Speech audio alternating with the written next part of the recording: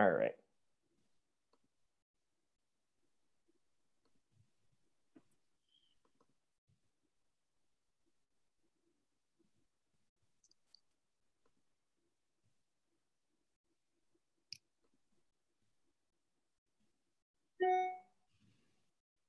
All right.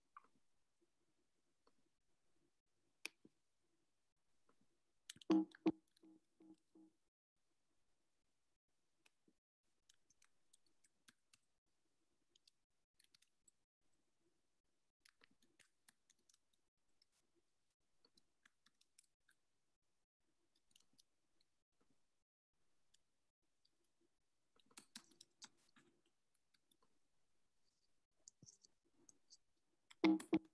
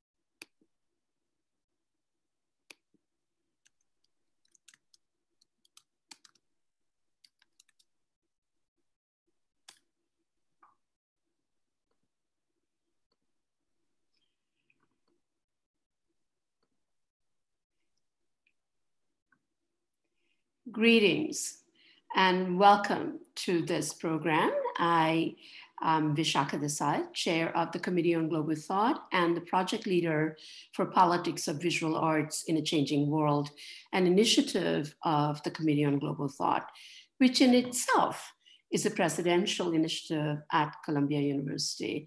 I am delighted that all of you have joined us, and it is this particular program, uh, Contested Legacies, Public Monuments uh, in Global Perspective, is part of a multi-year project entitled Politics of Visual Arts. And that in itself is supported by a generous uh, grant from Andy Warhol Foundation. So I want to acknowledge that support.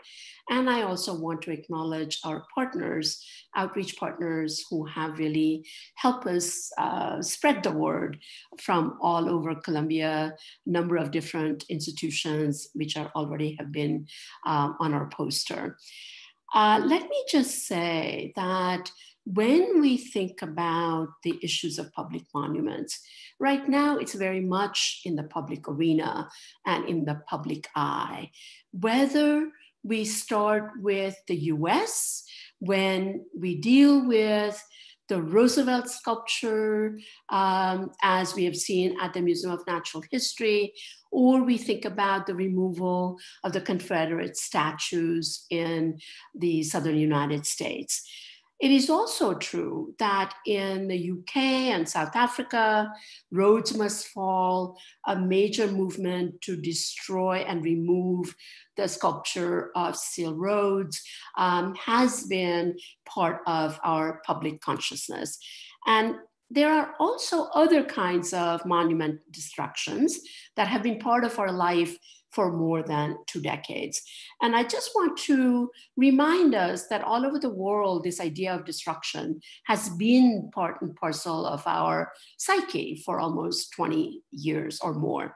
So if you look at the destruction of the Babri Masjid, of course, right there as you see it, um, the previous sculpture was the removal of Gandhi in Ghana, uh, the sculpture itself, um, or the destruction of Babri Masjid, the 16th century monument in India that is supposed to be on the birthplace on the ground where the Hindu god Rama was supposed to be born. Um, then we also have the destruction of the uh, World Heritage Sites, Palmyra in um, Syria, that created a huge outrage all over the world. And of course, I always think about the destruction of the Buddhas, uh, the Bamiyan Buddhas in Afghanistan by Taliban. Each one of these really remind us that there is something around the power of destruction and power of these images that are more than just what they look like at a beginning. Historians would remind us that the destruction of monuments and readaptation or reconstruction of monuments for new purposes has been as old as the creation of monuments that serve political or power purposes. Um, so once I make that statement, it sounds like, is there nothing new? Is it all the same? And in order for us to understand our moment, it's important to ask that question what is unique about this moment? How do we understand the political dynamics of the current moment? How do we distinguish between destruction of monuments and sculptures for specific religious or political purposes versus destruction that attempts to right a political wrong? What is the role of history and memory in both the destructive acts and in the original intent of the monuments? How can we make right the historical wrongs and where do we go from here? I often think about when we think about this, what is it in these monuments that creates such a statement of power and anger and anguish? Um, as the mayor of, former mayor of New Orleans, Mitch Landrieu said, after the movement of the removal of Confederate statues in Charleston came about, or New Orleans came about, and he says that these statues are not just stone and metal. They're not just innocent remembrances of a benign history. These monuments purposefully celebrate a fictional, sanitized Confederacy, ignoring the death, ignoring the enslavement, and the terror that it actually stood for. In order for us to explore these questions more deeply, more thoroughly, and understand it in a uh, more relational cross-cultural context, I'm delighted that we have wonderful group of scholars, activists, and leaders, thought leaders, who can help us delve, go deeper into these questions. So before I introduce them, let me just quickly tell you about the logistics of the program. And that is that each one of our four panelists would make short presentations and then we will have comments by our two discussants. And then during this program, I'm hoping that you will make use of chat function and write your comments. I will pay attention to that. And I hope that we will have time for the last 15, 20 minutes to actually also hear from you because I want this to be as much as possible a conversation and also to hear from all of you. So let me introduce our speakers and I'm going to introduce all four of them and um, in the order that they're going to speak. So the first speaker is Zeynep Çelik. And as Professor Çelik is a distinguished professor emerita at the New Jersey Institute of Technology, an author and a scholar, a curator who has actually been steeped in this idea of uh, reception and perception, as well as intention of things, cultural things. Uh, she's author of many books, but the two that I thought would be really of interest to all of you is one is remaking of Istanbul and displaying the Orient. And that actually she was a co-editor for, and she is working on a new book, and I can't wait to read it, which is Europe Knows Nothing About the Orient. Um, our next speaker is uh, Professor Shahid Vawda. And let's see if we can have Shahid's face, Andrew. See where he is. And Shahid, there you go, is the uh, currently the Archie Mafeje Chair in Critical Humanities and the Director of the School of African and Gender Studies Anthropology and linguistics. It's a mouthful at the University of Cape Town. But again, Shahid is not only a professor, a scholar, a critical thinker, and an activist who has even worked not just in not-for-profit world, but in the trade union. And his scholarship encompasses history of trade union movement all the way to the idea of colonial and colonial heritage, cultural heritage, and modernity. And so he will give us a perspective from South Africa and from the African continent in terms of where these issues are. Our next speaker is going to be uh, Professor Colin Wayne Leach, my colleague right here at Columbia and now at Barnard. Um, he is a professor at Barnard and is a social and personality psychologist.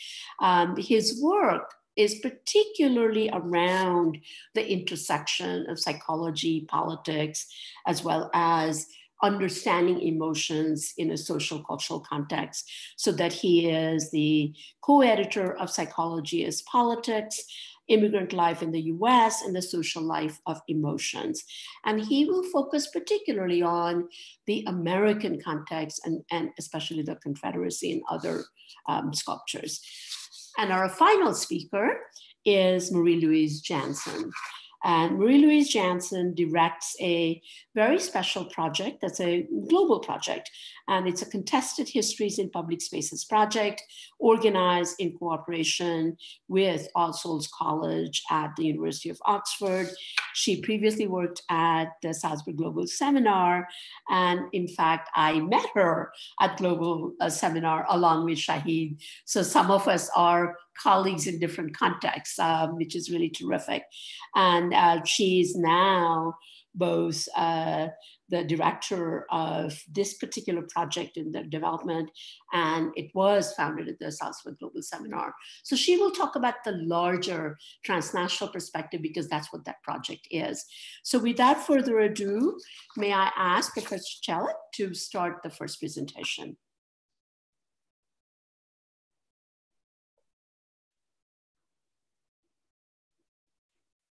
Thank you for the introduction, and I'm very pleased to be here with my esteemed colleagues.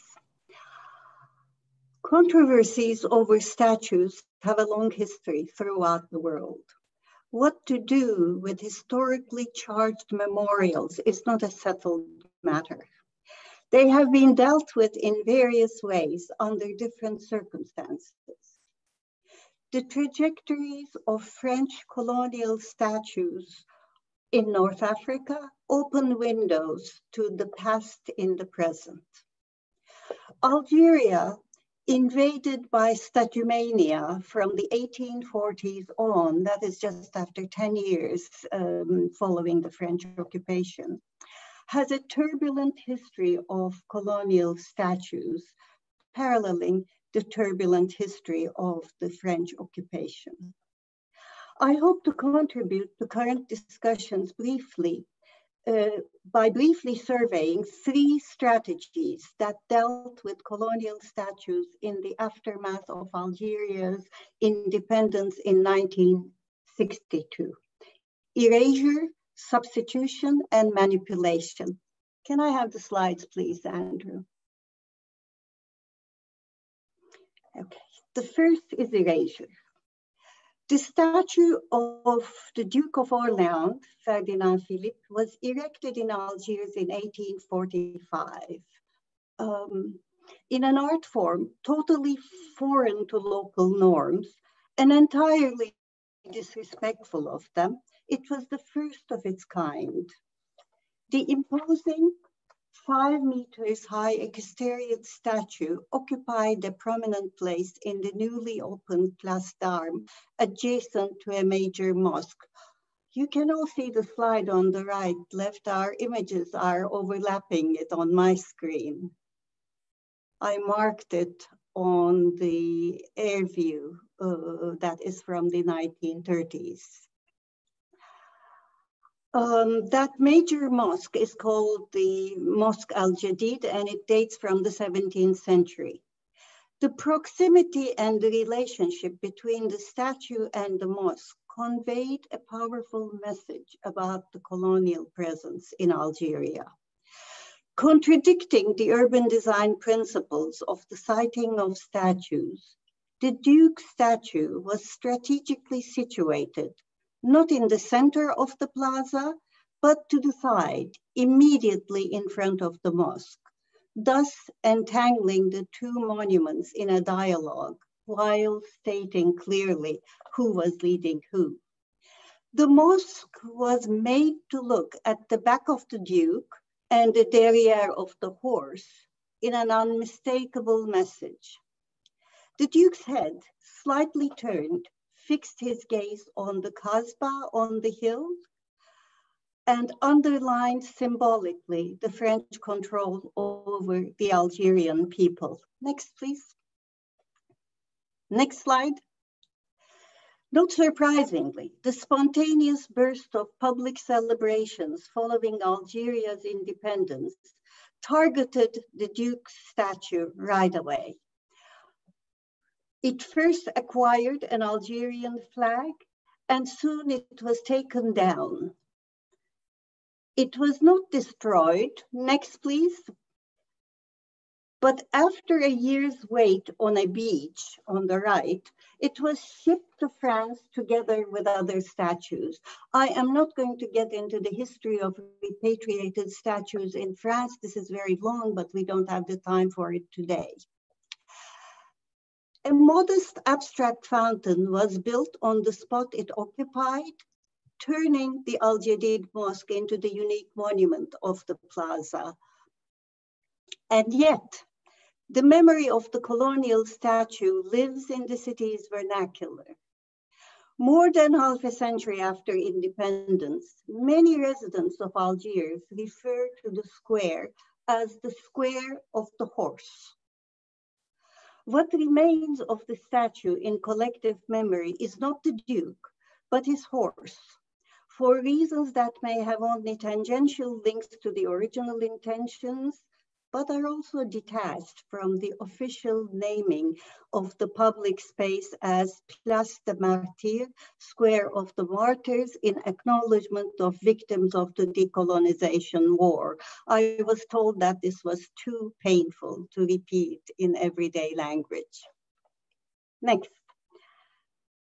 Substitution served as a straightforward translation. A French hero was replaced with a local hero of comparable stature, declaring victory over the colonizer. Marechal Thomas Bugeaud's statue at the center of the new European town on the left on the image dated from 1852.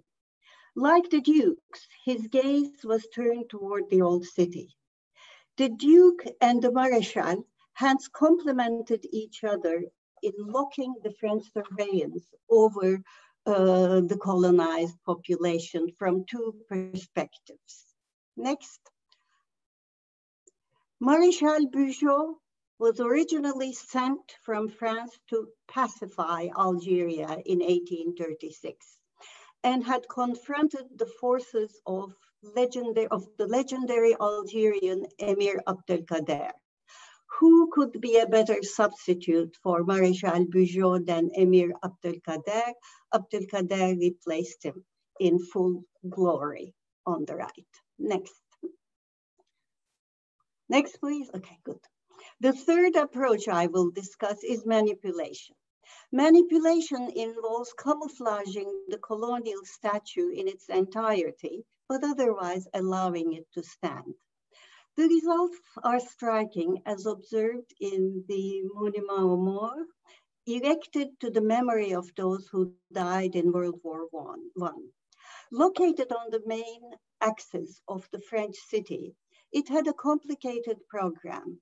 In addition to the names of more than 10,000 soldiers, Europeans and Algerian Muslims, it included war scenes on the lower level. On the pedestal, mounted soldiers carried a dead body with France represented by a figure of Marianne at the center. Perhaps because of its imagery that featured ordinary military men and locals, it survived the fate of other French monuments and was not taken down in 1962. In 1978, however, on the eve of the Third African Games, the mayor of Algiers commissioned artist Mohamed Issiakhem to cover the statue, couvre-moi he said, because the statue could be seen as an embarrassing remnant of the colonial past. Next, please.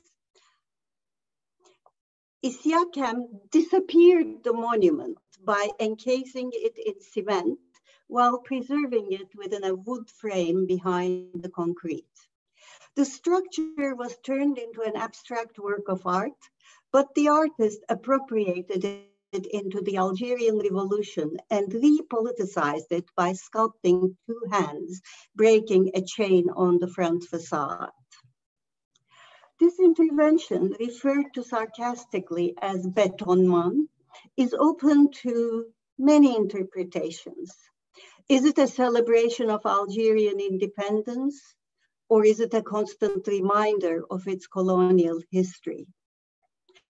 Does the roughness allude to the violence of the colonial rule and the violence of the decolonization war?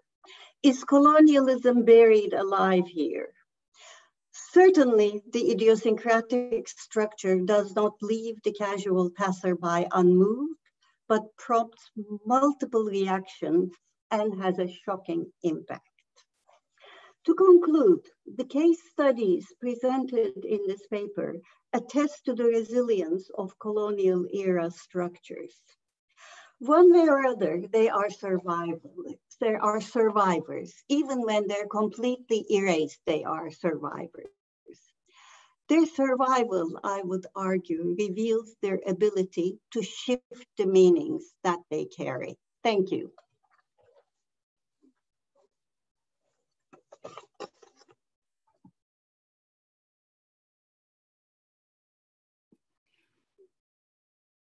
So Shahid, you're next.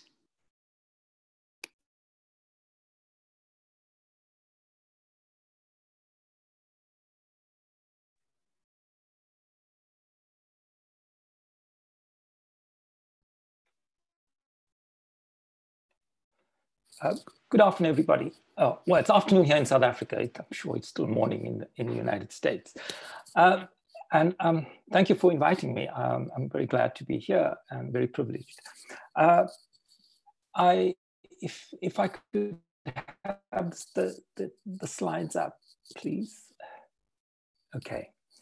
So before I begin the actual talk, uh, I just want to acknowledge that this research work is being conducted with colleagues of mine, June Bam Hutchinson, Dudu Lovu, and Kirshen Basham uh, all from the Center for African Studies at University of Cape Town.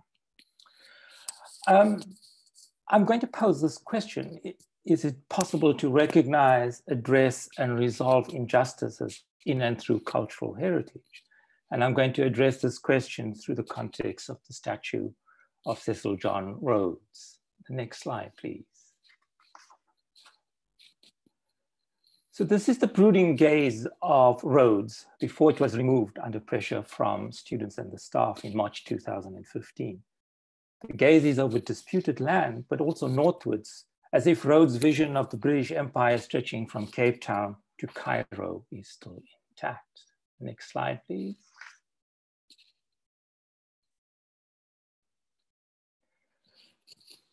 Here, I just want to say it's quite astounding if you think of Europe in the background of, the, of, of Rhodes. When one thinks of it, the size of Europe in relation to Africa, almost a peninsula uh, jutting into uh, the North African coast. The next slide, please. So Rhodes, the philanthropist and the colonialist, was not the only statue that was under dispute. There was Jan Smuts, uh, Queen Victoria, General Botha, uh, Van Riebeeck, Gandhi, and significantly Totius, a theorist who argued that the Bible proved the inferior, inferiority of Black people and the right of whites to rule over them. So one might ask, what has a biblical theorist of the divine right of whites got to do with Rhodes, the child of colonial liberalism? What might be the link between them? Is it possible that liberalism's vision of modernity and progress slides too easily into the right to rule over others, made easier by invoking divine authority and further enabling super exploitation of land and labor. But the story goes beyond mere physical oppression and exploitation. Next slide, please.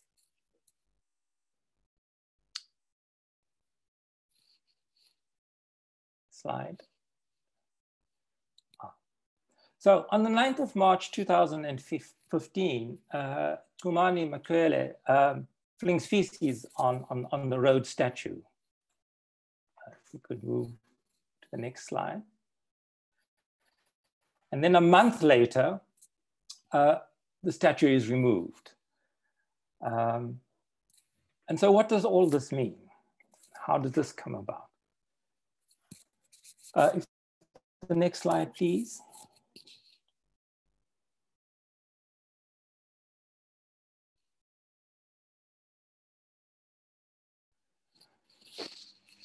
Stuart Hall has described heritage when referring to Britain as the material embodiment of the spirit of the nation.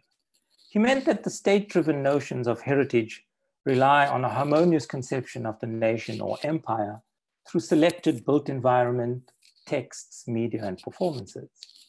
In official language, heritage is hardly ever seen as disputatious. In South Africa, after the Act of Union in 1910, which excluded the Black majority, there was an untroubled understanding of heritage as derived implicitly from Eurocentric notions of the right to rule over others, the natives in this case, who without history had to be discovered in their primitiveness and to bring them into the modern era, whether by slow liberal reforms or through the harshness of apartheid. Servants at best, slaves at worst.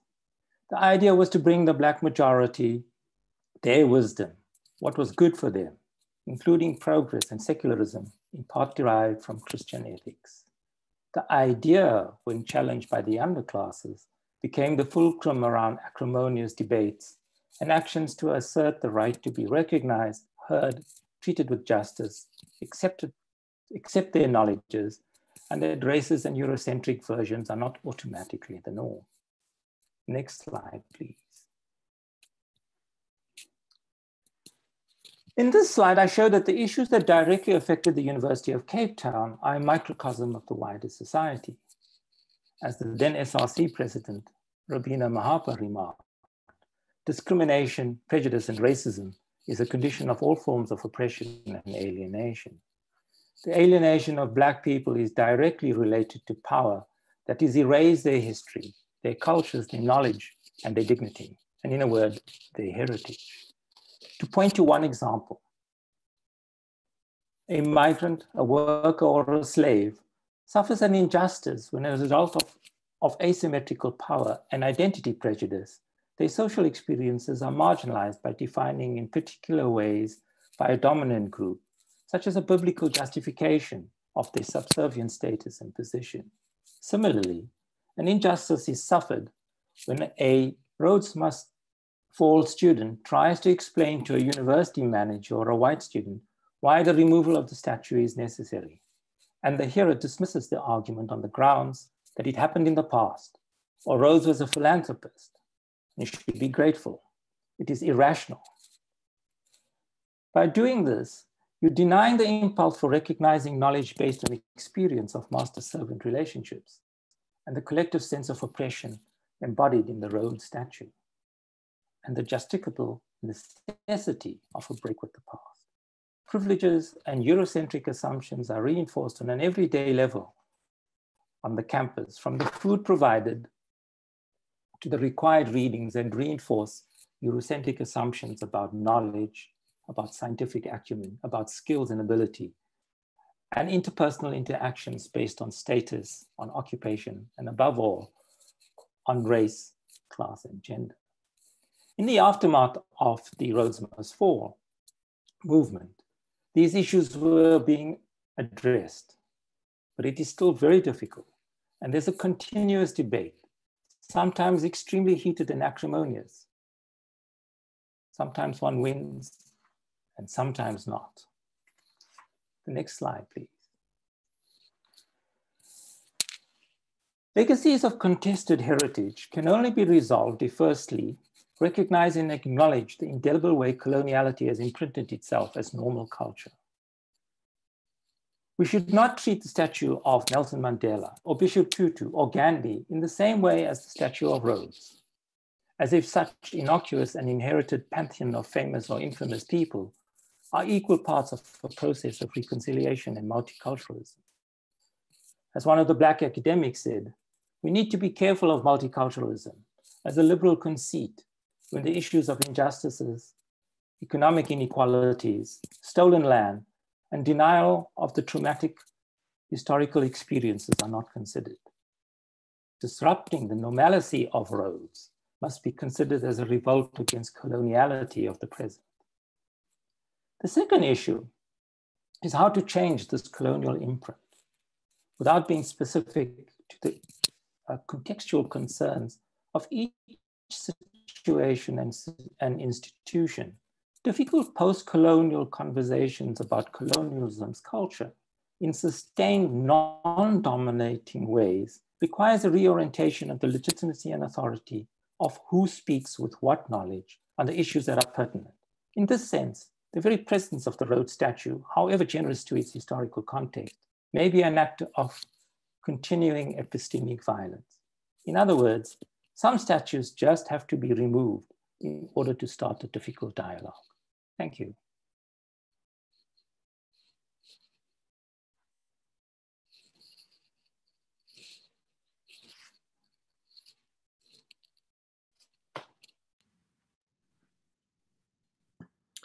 Um, monuments uh, such as statues uh, move us and they are moved. They are erected and they are taken down. And the reason why the movement of monuments uh, is is contentious is because they move us also emotionally. Um, if we think about this contentious statue of uh, Robert E. Lee, for example, in Richmond, Virginia, you can see this kind of this classic um, equestrian monument with the horse's head bowed, uh, prancing proudly, and with the chest out, prideful pose, embodiment of pride in Robert E. Lee. Next slide, please. And of course, there's been quite a lot of attention in the United States in the media on the removal of statues of Confederate heroes like the President of the Confederacy, Jefferson Davis, um, Robert E. Lee, of course, and uh, everyday soldiers and what have you. And partly why these the removal of these statues have been contentious is um, what they represent to us emotionally. Uh, you can see here in the bottom left um, of John Calhoun, another classic, uh, what we call in psychology, pride pose. Uh, uh, legs spread apart, chest expanded and full of air, direct gaze. And of course, the statue is designed to move us emotionally. If we identify with the figure in the bottom left, then of course his pride becomes our pride. His expanded chest full of air is meant to fill our chests full of air. And of course, if we do not identify with him, if we actually uh, see him as standing above us, or, as, or if we see ourselves as standing underfoot, then of course this becomes not just as a, a pose of pride, but one of dominance and oppression. Next slide. Uh, I just want to give you some uh, some actual uh, data here that's been collected by the Southern Poverty Law Center about the uh, erection of slide uh, uh, of monuments, um, a Confederate mon monument specifically, over the last 153 years, and about the removal of them. Um, so I hope you can see this in more detail, but if not, you can get to the link and see this yourselves. So this is a timeline um, of the erection of Confederate um, monuments in the United States, and you can see there are two major periods where where um, uh, monuments were erected. Uh, and this first one on the left is post Reconstruction and uh, during the Jim Crow era, which is when most of these monuments were erected. And then you can see another blip there that's more green and red in the middle to the right, um, which is during the Civil Rights era. And next, please. Uh, the empty circles are the uh, Confederate monuments that have actually been uh, removed. 146 uh, since the um, the massacre at the Charleston um, church. Um, and in fact, a vast majority of those have been removed even more recently um, this past summer in the United States. 93 of those actually happened after George Floyd's killing um, by the police on May 25th in Minneapolis. Um, so this is important because the removal of the statues I showed you in the previous slide have got, gained a lot of attention and have led to a lot of controversy. But it's very important to note that in fact, very few monuments have actually been removed. Uh, there should be next, please. There Should be another animation there. Yes. So the Southern Poverty Law Center estimates that even though 146 monuments have been removed since 2015, that leaves nearly 1,800 uh, symbols, school names, parks, uh, statues on public land um, that memorialize and in most cases glorify the Confederacy. So, despite the attention and the heat of the debate, in fact, very little has actually happened and very few monuments have been removed. Next, please.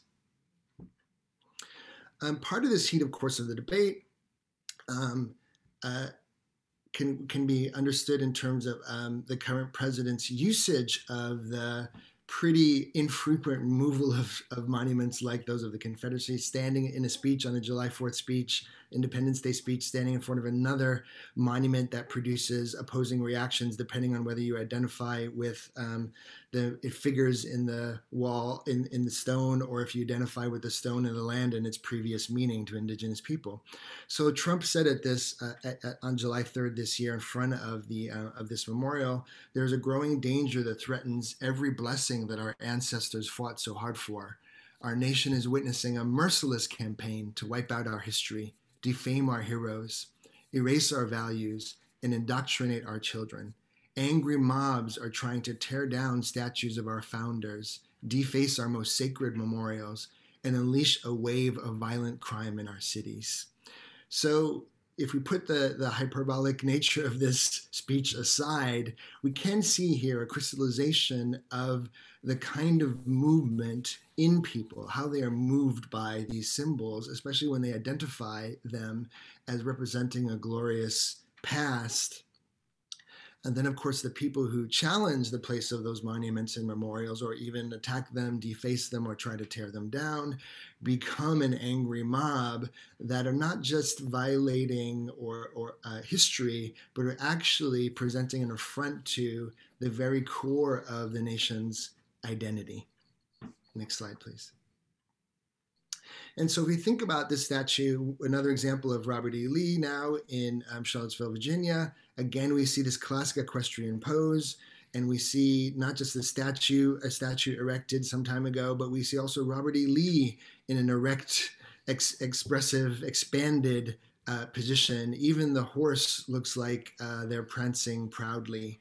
And of course, when the statue, when there was discussion of removing the statue and renaming the park that was named after Robert E. Lee to Emancipation Park, this brought the response of the now infamous Unite the Right rally in Charlottesville, Virginia in August, where clear uh, Nazi, neo-Nazi, um, and and populist uh, right-wing uh, neo-racist movements um, uh, made their voices heard to defend, of course, not just the statue of Robert E. Lee, but what the statue of Robert E. Lee represented for them and for their identities.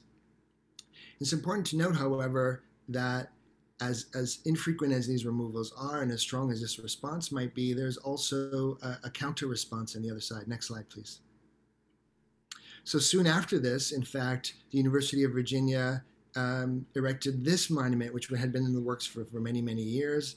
This is the memorial to enslaved laborers who helped build the campus and maintain it, the 4,000 or so slaves um, that built the campus and maintained it. And we can see a very different kind of memorial here, rather than a memorial that hails us or calls us to look up at it and to take pride in it or to feel trampled under its feet. We have a common style of memorial here that moves us in a very different way. Instead of looking up at it, we're invited to enter into it. And these styles of memorials also, instead of highlighting the heroic figure on the horse, in fact, try to communicate something about scale and scope. So, in fact, those nearly 4,000 men, women, and children who were slaves on the and helped build and maintain the campus, their names are engraved on these slabs, and we can see this in many memorials. You can think of the Vietnam Memorial as another example of this. So, a really a, a contrasting, not just narrative, but way of trying to move people to think about the same history in the same place in a very different way. Next slide, please. Um, we can also think about another example of the of, of the contention around uh, monuments. So it's also important that even if you look back to that Southern Liberty Southern Poverty Law Center slide, of course, most of the monuments to the Confederacy are in the South. Um, but this the, this discussion in the United States is not exclusively uh, in the South. And of course, uh, as was mentioned earlier, there's been a lot of debate and discussion and finally removal of the statue of Theodore Roosevelt, which Smithsonian Magazine labeled racist. Um, and you can see another equestrian pose here. This time he's flanked by an African and native uh, uh, gun holders and scouts. Uh, next, please. And the museum has taken a really interesting uh, strategy here of um, creating an exhibit to address the removal of the statue, to talk about the original designer's intents, and to bring various voices into the conversation about the meaning of the statue for various people who differentially identify with the figures in the statue. And this was part of a broader political process. Um, started some years ago by uh, Mayor Bill de Blasio of New York, the Mayor Advisory Commission on City Arts, Monuments, and Markers, um, that was a that was a committee of various people um, who had a discussion about how to deal with monuments like Theodore Roosevelt or Christopher Columbus. And this provides us an interesting example of the way that uh, contentious monuments can be discussed openly and civilly and various sides of the discussion and its impact on people, the way that it moves people differently um, can be addressed. Next slide, please. Thank you very much for your time. Um, and Marie-Louise? Yes, thank you so much, Vishakha and Andrew, for the opportunity to speak to you all about contested monuments in a global perspective. I'm especially pleased to be able to speak to you, um, to be on this panel because that subject speaks specifically to our Contested Histories project that we've been developing over the last three years, looking at global contestations around the world. Um, at this stage, we have, um, may I have the next slide, please? We have surveyed more than 200 cases of disputes in the continents, in five continents, and we are far from finished. The idea behind our study is to provide decision makers, educators, civil society groups, and others who are dealing with similar controversies information on comparable cases, as well as guidelines and remedies that our task force distilled from a number of case studies. So this is a digital tool. Um, excuse me, back up one. Sorry, Andrew. I have the previous slide, yeah. So this is a digital tool that our team has been um, developing and it plots the different contestations. This is an internal tool at this point. We are um, grouping them according to different types of legacies, uh, fascism, communism, slavery, colonialism, etc. And many of these, of course, overlap, so they they fall into one, more than one uh, category. If you click on, for instance, the colonialism, you'll get all of the ones that we have in our catalog. So that deal with colonialism, whether it's in the United States, in Africa, in, in Europe, uh, Latin America, and elsewhere. Um, at this point, we're testing new GIS software that will allow greater flexibility and allow us to actually bring this tool to a broader public. Uh, we're not at that stage yet. On this map, each pin come, uh, connects to a case with an image and a three to 4,000 word case study with further links for further reading and resources. Um, these cases range from disputes, for example, over statues over comfort women in Asia and Korea, the Philippines, to controversies over statues of Gandhi, which was mentioned before, in Africa, to conquistador monuments in Latin America, and the list goes on. So as you can see, there's quite a cluster in, in North America and in Europe. As Colin discussed in the US, there are many that deal with the Confederacy, uh, but also others as well. As he mentioned, um, for instance, the Teddy Roosevelt statue. And there's the question of what to do, for instance, with Christopher Columbus in New York. And I'm very pleased actually that on uh, with this webinar, we also have Harriet Senie uh, as a respondent because she was a member of that mayoral commission and can really um, give us more insight into the deliberations and discussions that happened there. Um, so in Europe, there's a dense cluster, and these are not only dealing with colonialism. You have disputes in Europe over monuments and statues, uh, street names that deal with things like um, complex history related to fascism, to communism, and other legacies dealing with egregious human rights violations. Um, what is clear, really, is that each and every one of these cases is unique. They all have their uh, specific social, political, cultural, and economic factors. Um, they're all very emotional, as Colin mentioned before, and they and each one has a um, you know specific um, dynamic. However, uh, through our research and through our co comparisons, we do have we have found that there are some commonalities. First, as Shahid described, the statute itself is rarely the problem, right? I mean, it's always more about the injustice, about uh, oppression, about discrimination, about people feeling marginalized. There's always a reason beyond it. It's not simply because the statue is there. It represents something much deeper within the society. And when you contextualize or relocate or even destroy a statue, it doesn't necessarily mean that the problem is going to go away. Actually, it probably won't. So um, if I have the next slide, please. Um, I'm sure you've all watched the videos of the Colston statue being dragged into the harbor in Bristol. Bristol is a port city with 90 different ethnic groups living there. They self-identify by race, by religion, by ethnicity, by national and cultural heritage. Um, within that city, Colston was omnipresent, not only by the statue prominently placed on Colston Avenue, but his name was on the Colston Music Hall, the Colston Primary School, the Colston Girls School, and the list goes on and on. With Colston's slave trading history, the statue was the target, but the true issue in Bristol is the systemic racism that continues to divide the community today. Uh, our research shows that decision makers must address root causes. They should approach decision making in a participatory, inclusive process, take a multi-perspective approach, include those who, most are, who are most affected, do it with them and not for them. Otherwise, more resentment and anger will follow. Another commonality is that in almost all cases, there are legal factors that need to be taken into account. Heritage protection laws in the United States, especially on Confederate statues, and South Africa according with the Cecil Rhodes statue, as Shahid knows, um, uh, must be taken into account. In Eastern Europe, we have, uh, and in other countries, we also have so-called memory laws, memory laws that dictate which statues may remain, which names have to be removed, etc.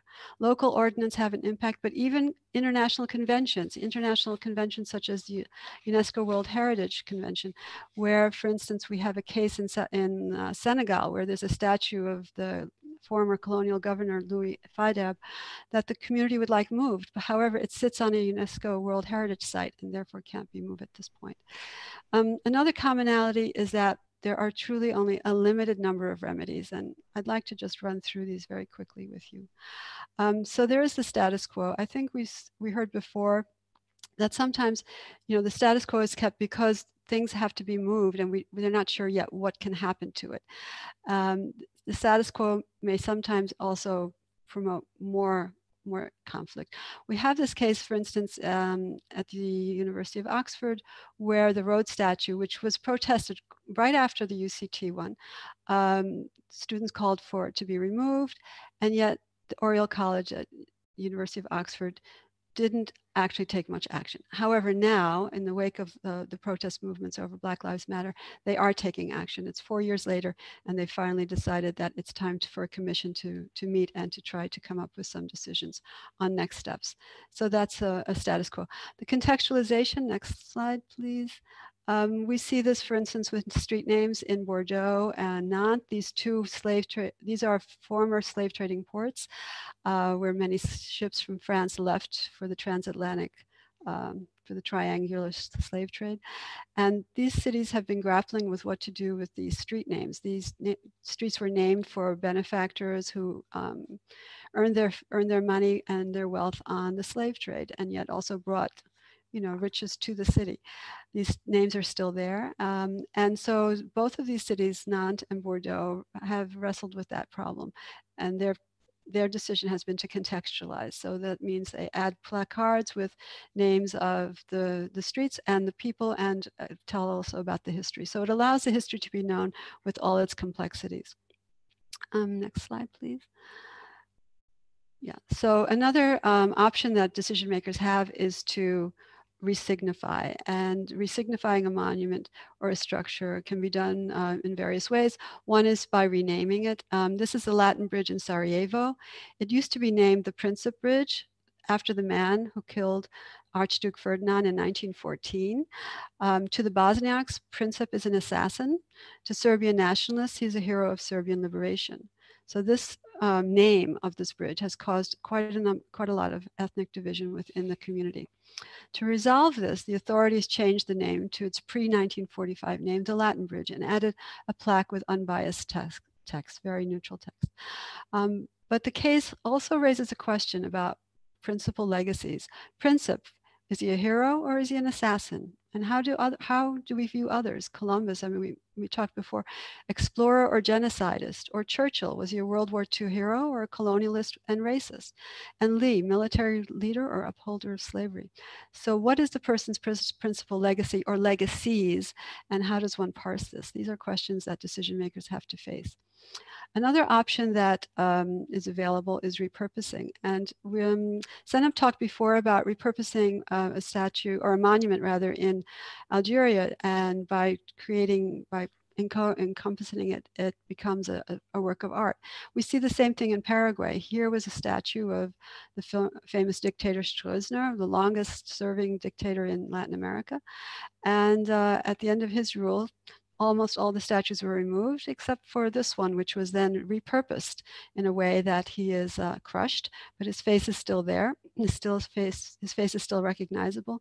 And instead of um, destroying the history, it's a reminder of the dark history in a society that is still there. Uh, we have another example of repurposing, which in Ukraine, uh, again, laws dictate that all Lenin statues must be destroyed must be removed. However, they kept this one, and instead of uh, leaving him stand as it, they, they, gave him a helmet and turned him into Darth Vader, which of course is a, a ridiculed um, monument at the moment, uh, but also speaks to the legacy of Lenin in the eyes of Ukrainians. Another option, and one that we like very much, is um, a counter monument. So the statue of James Cook in Melbourne, Australia this year, this uh, in 2020, it's the 250th celebration of our anniversary of the landing of Cook in Botany Bay. And in 2018, the organizers were still talking about possibly uh, erecting a new statue in Botany Bay of Cook. Uh, but of course, he's been he's been vandalized repeatedly in different parts of Australia and, and New Zealand. And so the idea was, well, perhaps we, that's not such a great idea, and we should come up with something more innovative. And so they have. They have now installed a new installation. Uh, as you see in the center of this slide, there is an obelisk. That obelisk is dedicated to James Cook. But across from it are what look like ribs of a ship. And this is an installation that was just uh, in 2020 uh, installed here. It's um, it is uh, a monument or rather an installation that was prepared by um, several artists um, that wanted to bring the Aboriginal viewpoint. And what they wrote is the ribs of the ship emphasize the ghostly presence of Cook and his men, a metonymy for all facets of colonialism, regardless of whether the viewer perceives it as good or bad. So here you have a counter monument to that.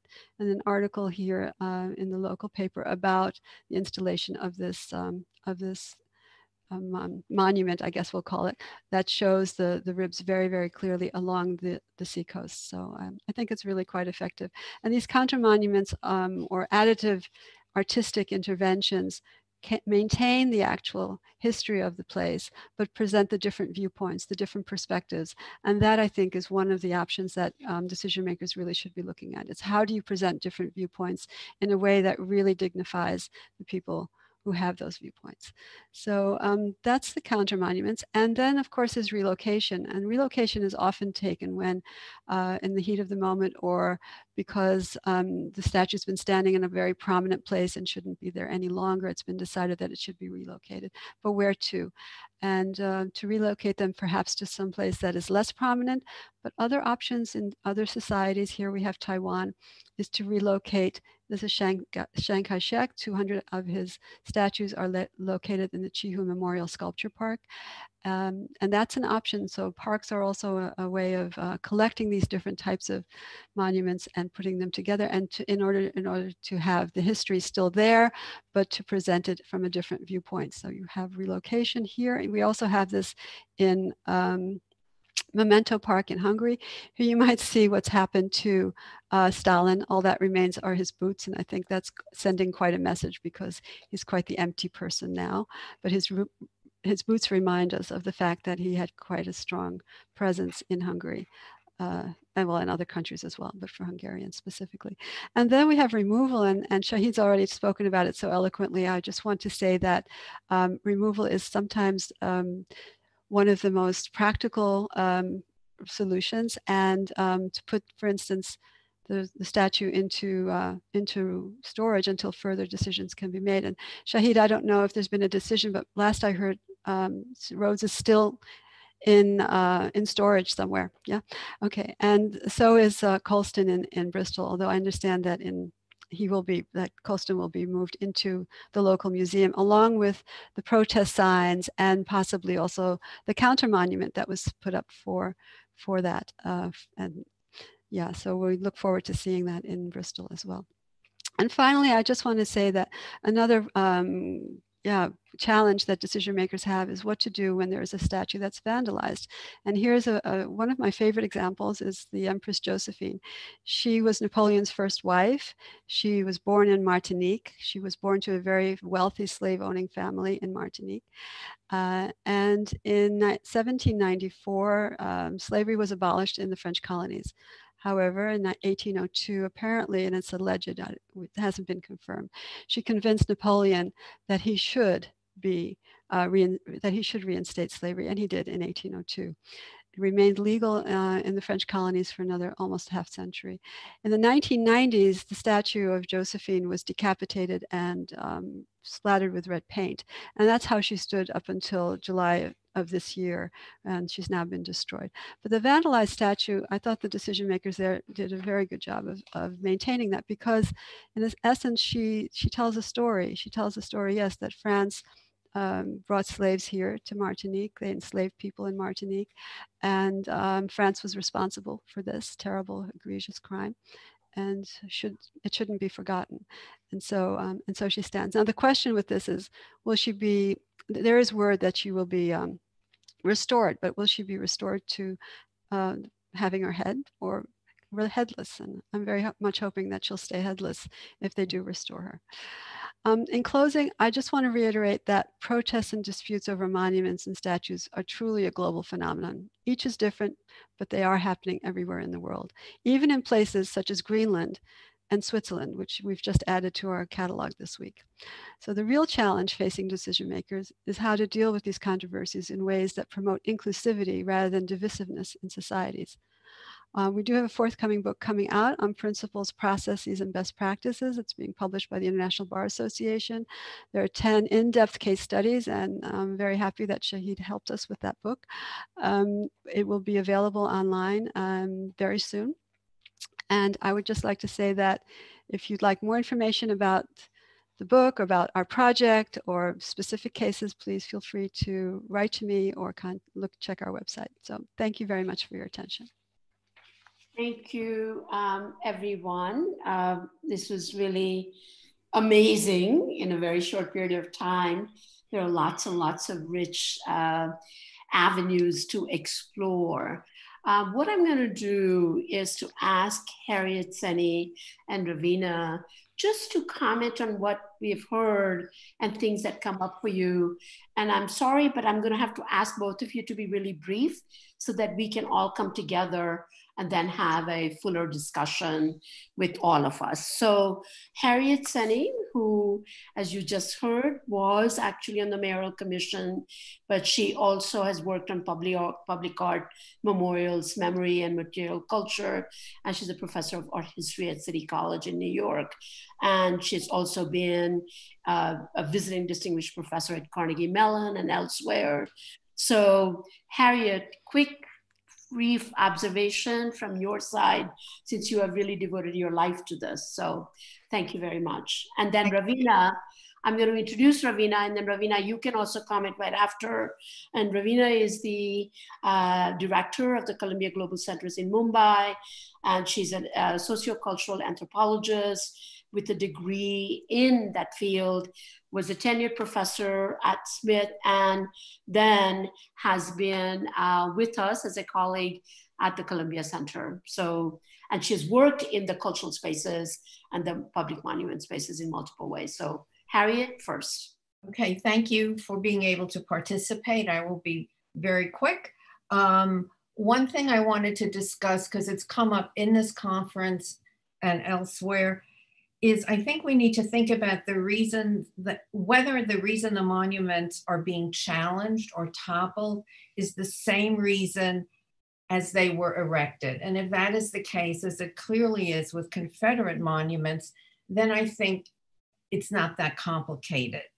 But monuments to George Washington are not, right? Those were erected for different reasons. And that prompts a more nuanced conversation I think it's very important in the present moment that we don't discount history. We need to know why it was commissioned and what it meant then. That's part of the contextualization process. And I want to emphasize that it's not an either or issue. It's not, was he a good guy or was he a bad guy? He was both. It's an and issue, and it's how we get that and into a single, in this case, visual narrative, that's the real challenge. I want to also raise a couple of issues from an art historical point of view, because that's what I am, an art historian. I want to ask the question, is toppling or marking an existing work of art with graffiti or whatever, is that vandalism? Because, for example, we would consider editing a published work, no matter how heinous, in a comparable way, we would consider that censorship. Another art historical perspective. These works are considered only in terms of their subject. Sometimes the artist isn't even named. So what's art got to do with it? Should it matter if a work of art in question is of aesthetic value or historical value? That's usually left out. I want to reiterate what some have said, Marie Louise, more recently the importance of temporary non invasive interventions, projections, performances, all those things add and prompt a different conversation. And of course, these controversies are by nature political and they prompt a reactive response. And I'm really happy to note that there are so many more proactive approaches being taken, such as the one Marie Louise just described to us, um, the Mellon Grant, which just funded Monument Lab to create a national audit. And there is a New York City task force, which is going to undertake this locally, but we haven't met yet. So stay tuned. Thank you. Uh, Ravina? Yeah, we'll thank you everyone. And thank you Vishakha and Andrew for this amazing uh, panel. Um, I'm just going to um, actually ask a couple of questions that were uh, suggested by the talks today. And we know that, um, you know, if we look at what's happening in this moment with what Vishakha identified as, um, you know, destruction, you know, as a major uh, thematic that's emerging in how people are reacting to uh, memorials, whether they are statues, and, um, you know, other speakers talked about uh, street names. Um, uh, collections, we, we've seen that in collections, we've seen that in various ways in which the state and official history celebrates what it considers history. And then what's happening now is a questioning of, of either cultural imperial histories or other histories in this destructive way. Well, we're also seeing at this moment a big rise in right-wing movements, right? So if we move, if we look at cultural imperialism or if we look at imperialism, then at how do we differentiate in the process of destruction of these histories, uh, of these symbols that are historical? Um, how do we distinguish between the kind of um, destruction that Vishakha you brought up of um, monuments like Babri Masjid and um, and the, the Bamiyan Buddhas, that kind of destruction and the destruction that we see that's coming out of you know the, the strong emotion and the and the and the experiences that people have felt with the colonial enterprise. So at what point do, do these agendas then um, have to be more nuanced and how can we think about that uh, without merging into one another? How can the right then be not, um, you know, um, how can how can protest movements not then take on the the language or uh, that is used by um, you know oppressive um, states as well? So that's one. Um, I really enjoyed the, um, the taxonomy uh, of alternative uh, actions that uh, Marie-Louise presented. And I also want to add to that and think about, you know, not only counter monuments, but also erecting and claiming public spaces that a lot of communities have done, whether it's through um, you know, museums that celebrate their own legacies. Um, and they're not necessarily counter to anything. It's a celebration of who they are. And I'm thinking of the Indian context where we saw um, this happen, you know, until 2012, where we had, um, you know, a, a, um, a, state government that was headed by Mayawati, who was a Dalit leader. And she went through a massive drive to commemorate building statues that were honoring, um, you know, a Dalit legacy through friezes, statues, public monuments. And she wanted to make visible Dalit contributions and also to establish herself as a political heir to a Dalit legacy, as is argued by the scholar Melia Belli. Um, so when we talk about this new rise of infrastructure that we are seeing through, through statues that are being commissioned all over, whether it's um, by people who felt invisible and marginalized, or by the state to celebrate, you know, bigger um, eh, their own legacies and political parties to celebrate their own legacies. Can we also talk about it, the issue of built infrastructure?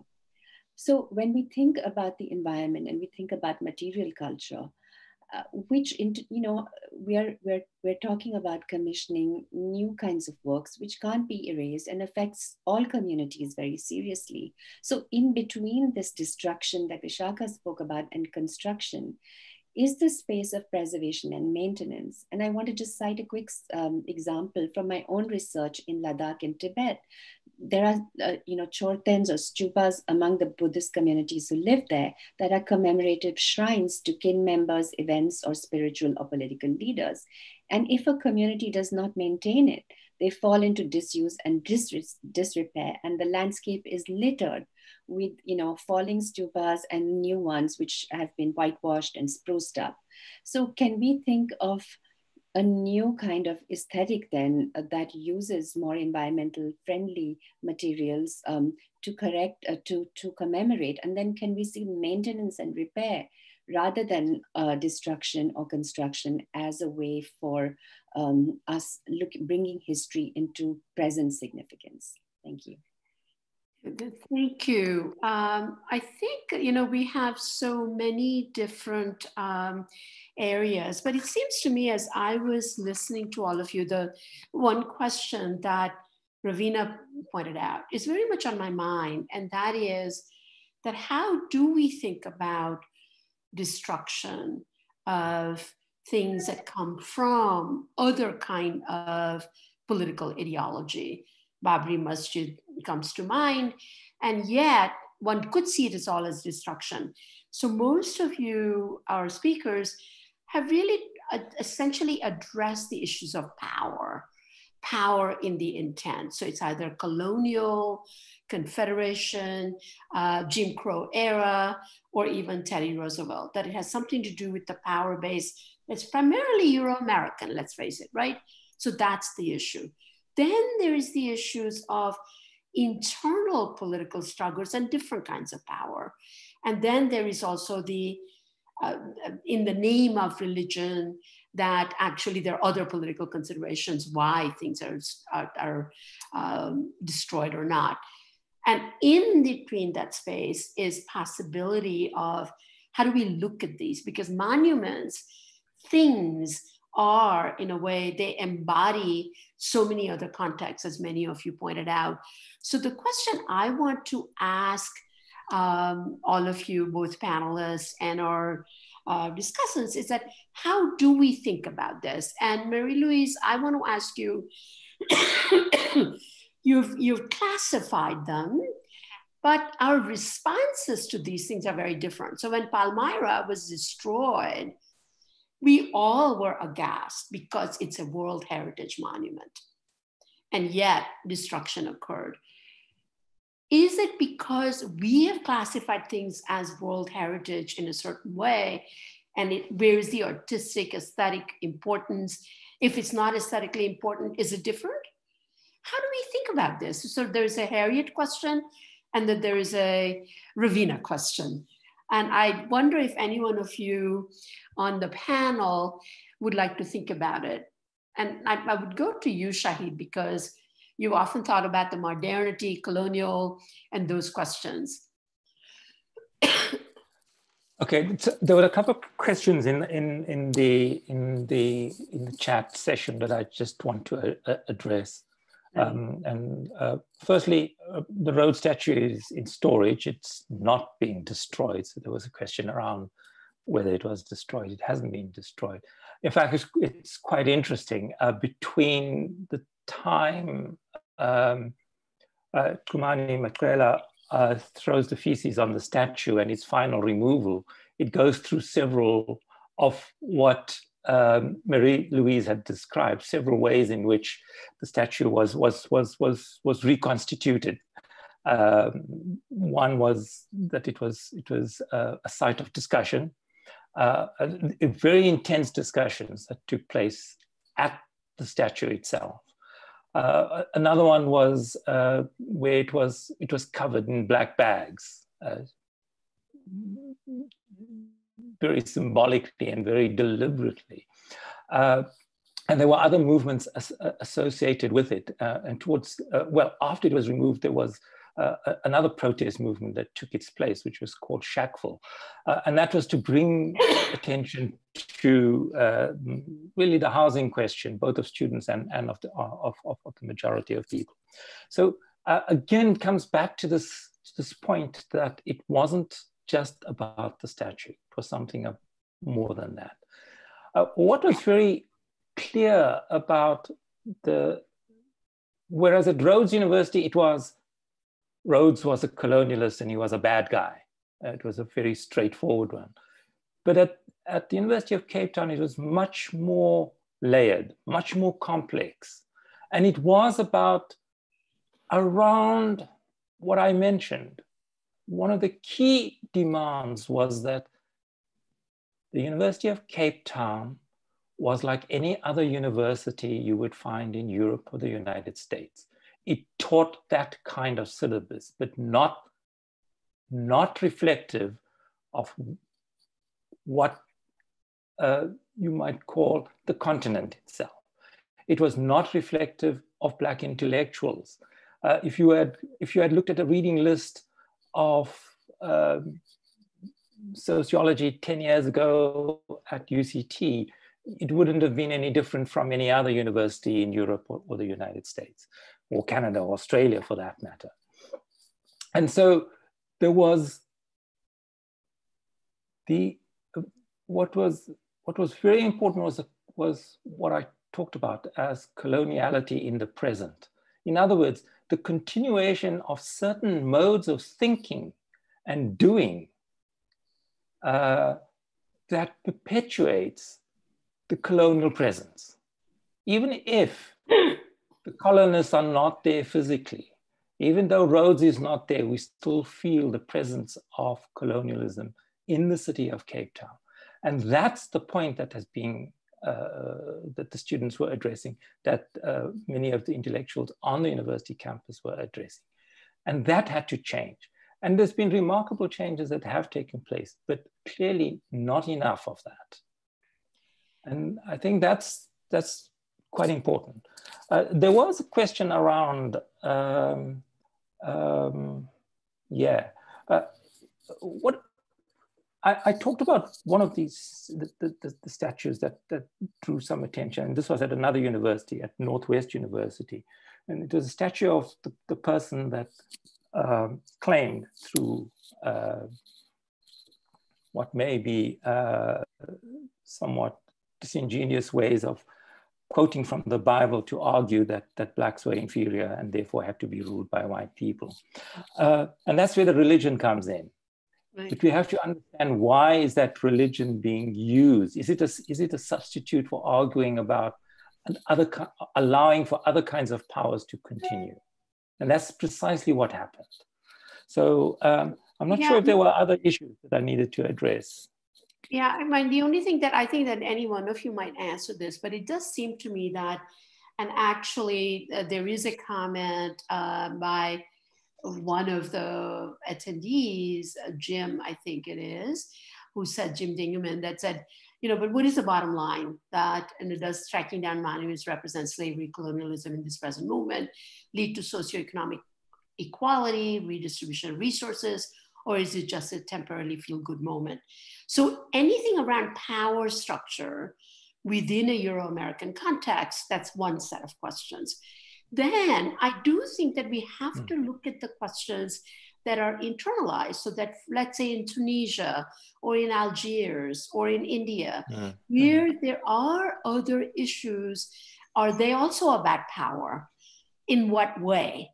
And what is the reason there? So, do we make a distinction between these so that the power structures within and without, we seem to have an easier time sometimes to condone the internal issues that are going on, but mm. not, you know, in other words, is that also part of the neoliberal attitude that we bring to the table in terms of how we look at something and how do we reflect on that? So another person has said that is it about if heritage must be rooted in universal values? because Confederate statues clearly are not in universal values because it's about a particular intent. But we think of Bamyan hmm. Buddhas as universal values.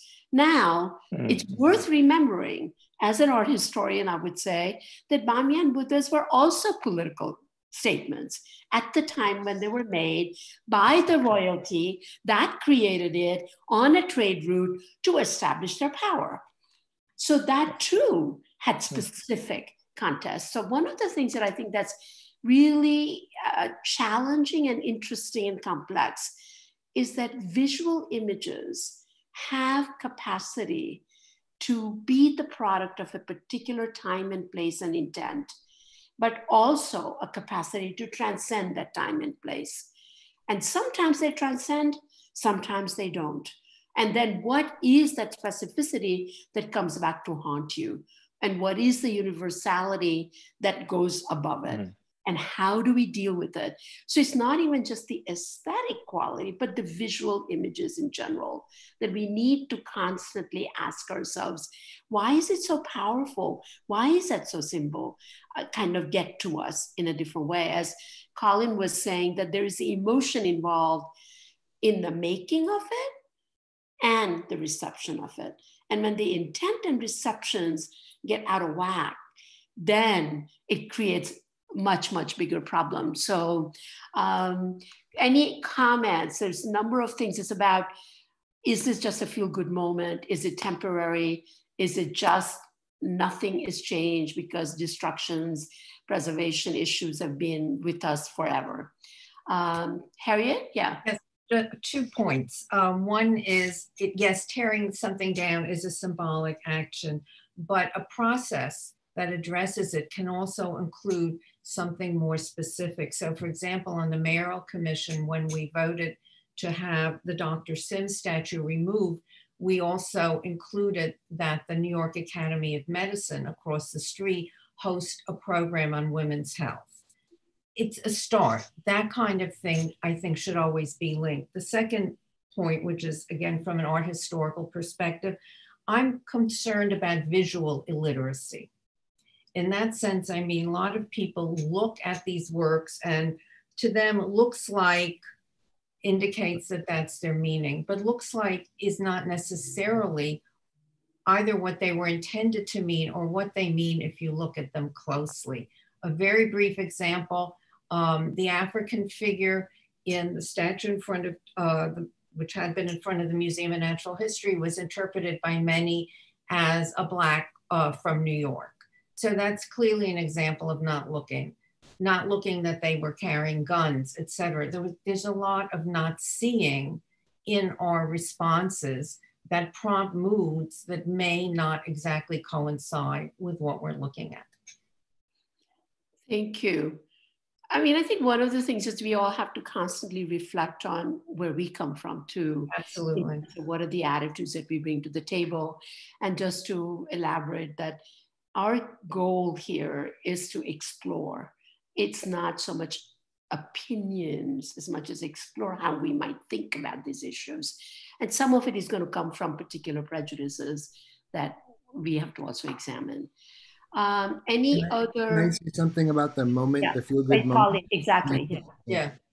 So I, I think, um, I mean, whether that's the political effect or not, or psychological effect, is one question. But I think it is important to recognize that the structure of our physical space, and especially our public space, is not just a symbolic value. We inhabit that space as feeling beings. And so, um, feel good moments, it's not just about the, uh, the removal of a statue or the more memorialization of a fuller history.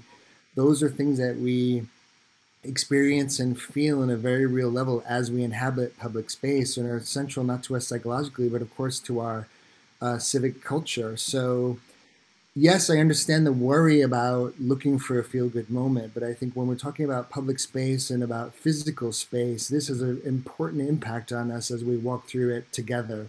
And so it does go beyond a feeling good or bad in the moment. Right. I mean, I think, Colin, you really bring up a very important point, and that is the publicness of things. And when you're walking around, the impact of perpetuation of something. Or, in fact, it is that how do you change that narrative so that people actually can deal with it, right? Both positively and negatively. That's another sort of question. So that, and, and at the same time, if it was only just about that, other issues that are embedded in that sculpture, in that making of things, also have to be addressed.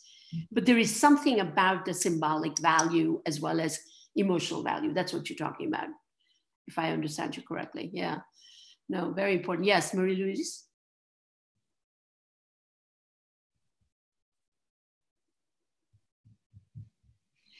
You are muted. Yeah. Unmute yourself. Yeah. Yeah, sorry. I was just saying that, you know, it's very clear that societies evolve and what is, you know, how people thought about statues of Christopher Columbus, excuse me, in 1895 or 1898 is not necessarily how they feel about him today. So as the societies change, so do people's perceptions and people's awareness of what these symbols actually mean for them and for their communities. I think protest is a, is a very healthy thing. And I think that what happens when there's a protest, for instance, in South Africa about Rhodes, people start thinking, well, what about the statue in my community? Or what does this mean to me? And oftentimes we, I mean, I, you know, I spend a lot of time living in Paris and walk by lots of statues I never even looked at before, really. I mean, I saw them from the corner of my eye, I knew where they stood, but what did they actually mean? And I think a protest movement that starts in, in a place like at UCT and, and, and travels forward, it makes people aware. It makes people aware of their surroundings. It makes people aware of the symbolism and of the signaling and how the different people, how different people do view these things. And, and it does matter. It really does. I also think that um, when you have protests over a monument, whether it's Teddy Roosevelt in front of the American Museum of History or elsewhere, it makes you, it, you realize this is also an opportunity. It's an opportunity. Decision makers should see this as an opportunity for, for them to also think about how to rescript their communities in ways that bring inclusivity. That you might look at these and say, oh gosh, you know, in my community, there are like, you know, there's 25 statues and they're all men and they're all white men you know, shouldn't we do, be doing something about this? So um, as we see this movement, um, and I do think we're in sort of a monumental movement, if we want to play on that word, um, we can really start rethinking about what our communities should have in them. And um, I love, for instance, there's an example in Tartu, Estonia. You know, there's not a there's not a big statue of an Estonian leader or some, you know, some white businessman or something. There's a statue of two students kissing you know i think that's a, it's a university city it's a university town. It's it's it makes you feel good and it it speaks to the community it speaks to the people there.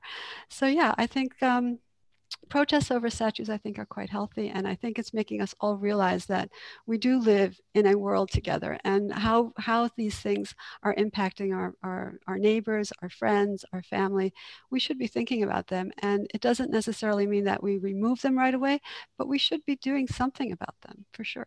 Yeah.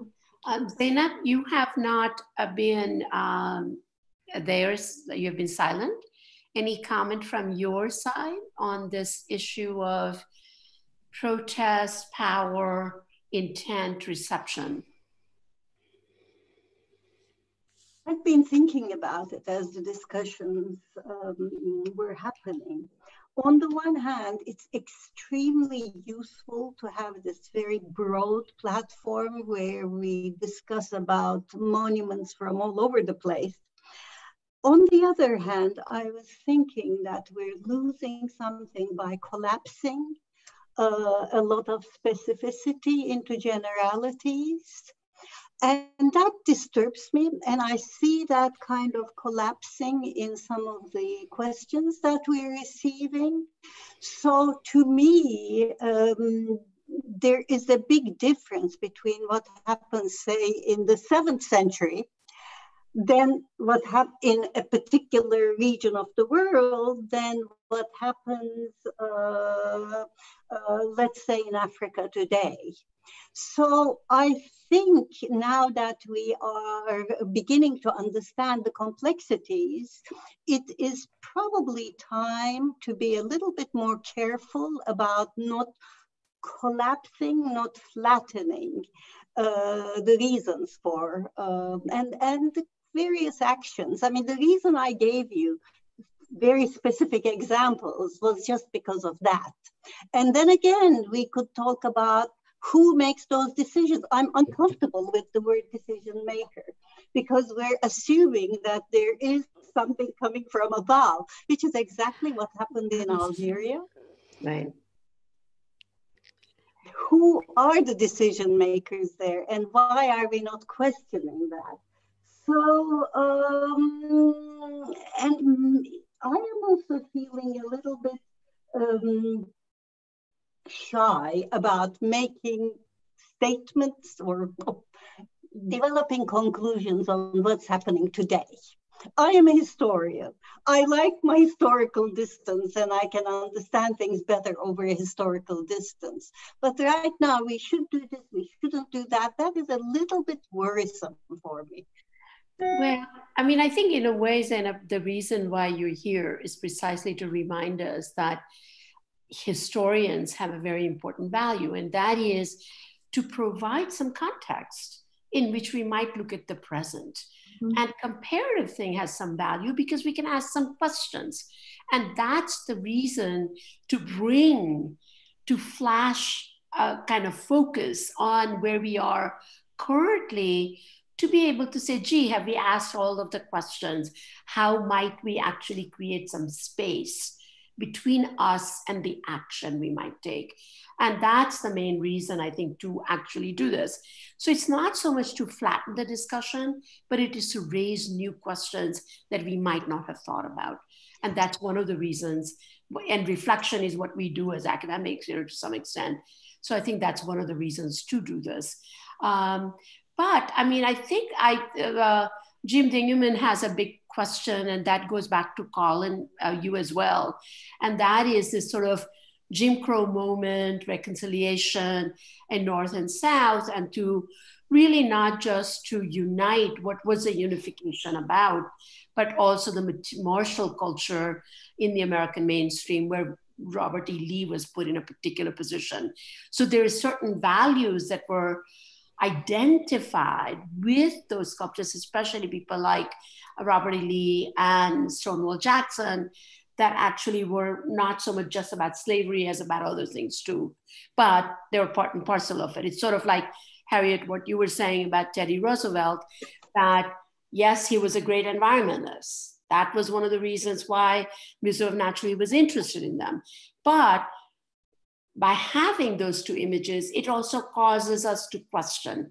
So we have to think about the context in which things are made and what are the issues that come together. And so, Colin, do you have any thought on this business of the intent of the statues, especially some of them, not if not all of them? Yeah, I mean, I think that, that Teddy Roosevelt is a good example, and I, I tried to I didn't go into detail, but I think this is um,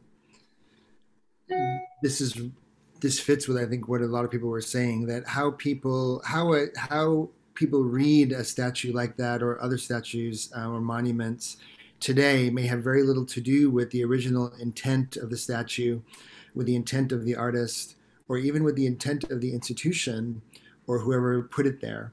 And so this is part of the decontextualized nature of a lot of these monuments and, and ambiguity and why they're then, you know, able to be read on this basis of subjective position and interpretation. And so I think, you know, at some level we could think about these contextualization efforts that people have raised as a way to give people more information through which they can read those statues. But of mm-hmm. course, part of how we read monuments or statues or, or, all historical symbols is, of course, our own subject position and our own relationship to that history. But certainly, um, I think we could be doing a lot more to contextualize and to bring into conversation, as the Museum of Natural History has done in New York, um, the artist's intention, the museum's intentions, and the the complicated full life of the people um, being symbolized. But yeah, I think when you see that statue and you see, it's true that uh, the intention was to represent the, the African and the native person as gun bearers for Roosevelt.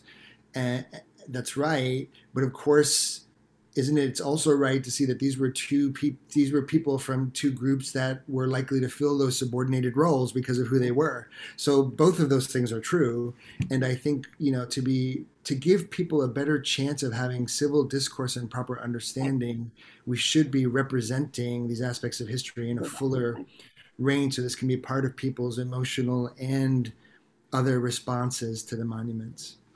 No, I absolutely, because I do think that there is something about grand narratives that actually don't take into account the subtleties. And I was thinking as you were talking, Colin, that brings me back to the Ravina question, and that was how do I deal with Babri Masjid in India? The, this 16th century Muslim monuments that's being destroyed by the Hindu right wing, and now they're going to rebuild the temple because they are creating a grand narrative. So in some ways, it's like the Jim Crow moment, you know, in destruction, which is to say that that was wrong because it was actually putting a Muslim monument in front of the Hindu site that was sacred. And therefore, there is something about the new grand narrative that's being created by destroying that to do what they perceive as a historical wrong that has to be righted. But it is in the context of the narrative of a majoritarian culture. And so it's interesting to, I mean, I had not really quite thought about it that way, but there is something about power dynamics in creation and destruction that are always going to be there and how do we unpack it and how do we understand it and what are the contexts and with that it's 1134 i think this has been an amazingly rich conversation. We will we have recorded it. Some of this will go into the next piece of uh, material and research that we're doing but i can't thank all of you enough our panelists the discussants really very, very rich discussion. We've just scratched the surface, but we've at least put some questions on the table and to complicate the story that we might tell each other as we go forward. And I also want to thank all the uh, audience, attendees. Thank you very much. You've come from many different parts of the world. You have many different opinions and ideas. So we have your chats, and that will be also very helpful to us. And thank you, Andrew, for keeping us on, you know, getting all the technical work done right. And thank you all for joining us today. Have a good day and good evening. Thank you. Thank you.